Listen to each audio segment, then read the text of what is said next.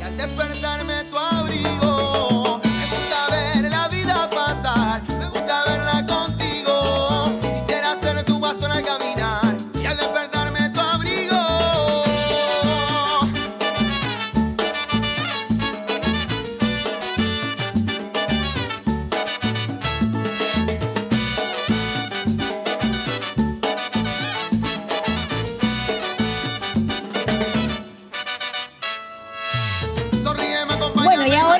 con música aquí en Basta de Cháchara y nos trae alegría, porque es lo que tiene la música. Y él, Totalmente. un artista que ha tenido un crecimiento enorme en lo que respecta a las plataformas, en las redes sociales y también en los shows. Y hablamos de Juanjo Morgade, a quien le damos las muy buenas tardes. Bienvenido, Juanjo. Muchas gracias, muchas gracias por recibirme. Un placer que nos acompañes. Y estábamos viendo este tema que nos decías que está llegando al millón de visualizaciones o ya llegó. Sí, este tema es, es uno de los primeros que saqué y está para llegar al millón en Impresionante. más o menos ¿Te das cinco o seis meses más o menos ya. Claro, porque tampoco hace tanto de, de que, salió el, que salió el tema para llegar a esa cantidad de visualizaciones.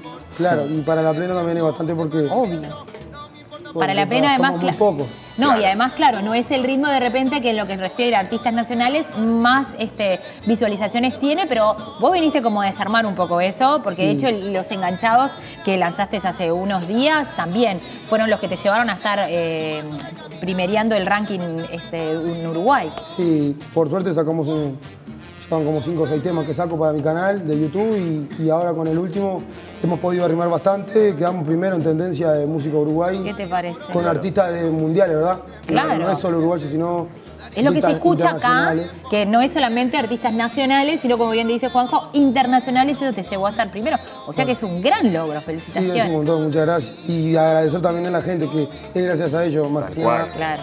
Y, y nada. Y, y que se apoya. Y además decías algo que está buenísimo, que es, que es la plena, ¿no? También, que quizás no hay tantos, o, o que está bueno defender un género muy nuestro, este, que nos identifica también. Sí, la verdad que eso, eso es muy importante y, y como logro también que decían ustedes, fíjate vos que la plena es un género uruguayo y solo se escucha acá. Claro. Capaz que lo escuchan en otros países, pero son muy poquita gente que son uruguayos en realidad. tal cual. No es un género que, que- que como quien dice salte el charco, ¿me entendés? Claro. Ni, ni expanda porque es muy difícil, es un género solo uruguayo y, y es bastante porque esas reproducciones quiere decir, cuando llegas al millón o ponele, quedas primero en tendencia Uruguay, quiere decir que mucha gente en Uruguay te está mirando. Claro, es impresionante el apoyo ahí. Y competís con gente de otros países Claro. que también los uruguayos lo Claro. escuchan, ¿verdad? Incluso también La Plena ahora ha tenido un, un gran crecimiento, no solo lo que es Montevideo, sino lo que es todo el país. Porque antes se identificaba más a la charanga con el resto del país y La Plena más montevideana, pero ahora la charanga ha venido a Montevideo Totalmente. y La Plena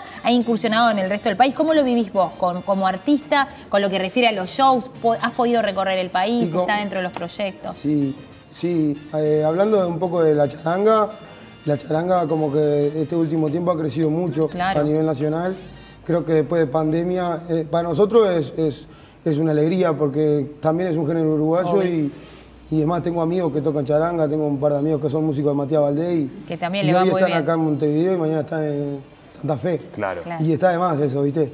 Pero, pero está, con y la, la plena, ¿vos cómo la ves eh, con respecto La- al resto del país? ¿Cómo, cómo, cómo te encontrás vos? Mirá, después de pandemia, la plena, tu- en, en- en la pandemia bajó mucho lo que es la plena Uruguay. Ha entrado muchos otros géneros como el, como el reggaetón, Claro. como el RKT, mucha gente Claro. argentina, ¿viste? Sí, los traperos Los también. traperos y la juventud eh, miró para ese lado, ¿viste?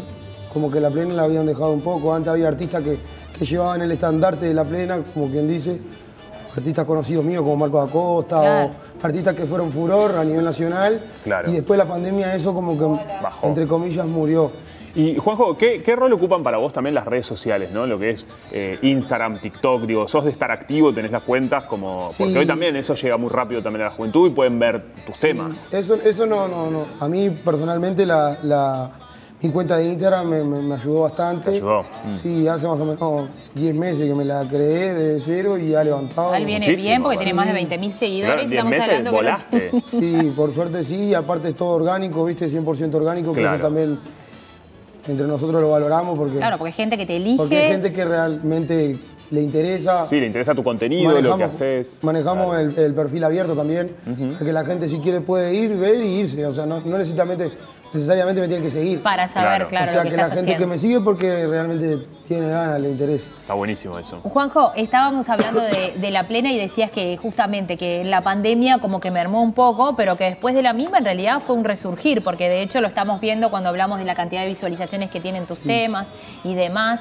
Este, ¿Cómo vivís vos este, este post pandemia y este resurgir de este ritmo tan nuestro? Y, y para mí, la verdad, vivo, yo que, que tengo un estilo de vida que es la música, es un sueño que estoy viviendo, ¿viste? Y, y poder llevar la bandera de, de un género uruguayo y, y poder, como quien dice, levantar un poco la vara con el tema de la plena, me- a mí me, me enorgullece. Y la verdad que, que- que eso es gracias a la gente que nos da una mano, ¿viste? Que cual. nos escucha y que, y que se da cuenta que hay músicos les en gusta el- Uruguay y, con- y tenemos Claro. un género nuestro también. Que- que así además como el no- candombe, que son géneros nuestros. Eso, eh, Juanjo, y además un género que lleva también mucho trabajo, mucho tiempo, que, que por muchas veces también fue, no digo ninguneado, pero fue como dejado de Sí. lado. ¿Vos lo Sí. notás, lo sentiste en algún momento Sí. esto? Porque esto es algo que siempre se habla, ¿no? Totalmente. Del Sí, tema del lo- género, lo que la cumbia, la plena. Lo ¿Cómo sentí, lo en- en, la pandemia lo sentimos fuerte. Yo, yo salí, estaba la pandemia yéndose y todavía no estaban abiertos los locales. y, y nosotros empezamos a, a ser escuchados en YouTube, o sea, la gente no nos conocía. Claro. Claro. Nosotros nos escuchaba. Y, de- y después que empezaron a abrir los boliches y eso, como que el género bajó mucho, ¿viste? La gente necesitaba salir a trabajar, los colegas nuestros, incluso yo.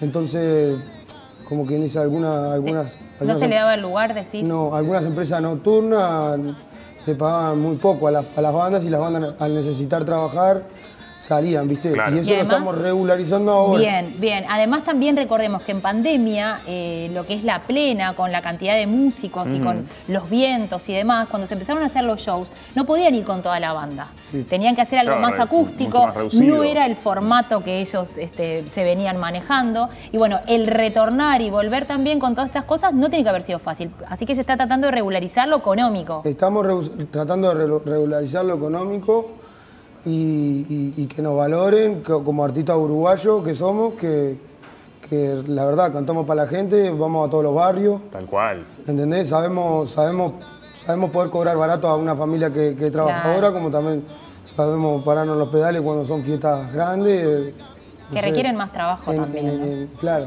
que requieren más, más laburo. Y bueno, eso de a poco lo vamos, lo, vamos, lo vamos trabajando. Hay artistas que vienen, o sea, no tengo nada en contra de ellos, pero hay artistas de otros países que, que tienen la misma cantidad de, de, de- no sé, de oyentes que nosotros Claro.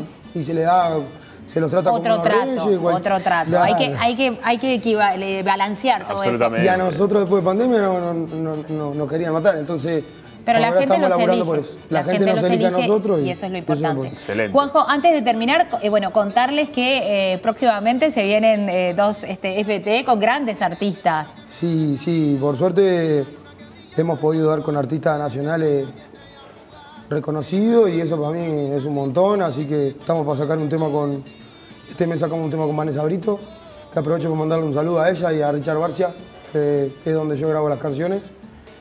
Y bueno, Y después se viene otro con- todo. Sí, en diciembre nos venimos con un tema con Enzo y la Sub-21 también, que aprovecho para mandarle saludos a mi amigo Enzo. Claro, además. mirando, me parece, así. ah, le mandamos un beso a Enzo y a toda la gente de la Sub-21 y Vanessa Brito, como bien decías, grandes referentes. Juanjo, gracias por acompañarnos. No, Ah, cortita, porque Morgade es un, un apellido muy eh, relacionado al carnaval. ¿Qué pasó en carnaval? ¿Te da el tiempo de hacer las cosas? Y estamos viendo, estamos viendo. eh, es complicado trabajar en la noche y hacer carnaval. Eh, lo sé por experiencia de amigos míos que, que trabajan de lo mismo que yo, pero estoy con mucha ganas. Ya no me queda mucho tiempo. Así que hay que definir, Juanjo. Estamos viendo a ver Ahí. si definimos ahí con Sarabanda. así Ah, que- bueno, bueno, bueno, Bien. sale para el candombe Sí, entonces sale para la candombe, posibilidad. Juanjo, gracias, ¿eh? No, muchas gracias a ustedes, la verdad, por el espacio. Y cuentan conmigo, estamos a las órdenes. Del Excelente. mismo modo, nos alegramos mucho Le por tu quiero mandar un, crecimiento. un saludo a, la- a toda la gente de Montevideo, a toda la gente del interior, que, que gracias a Dios hemos podido ir por bastantes departamentos ya, en lo, en lo Sí. poco que tengo de carrera, que son ocho meses como solista.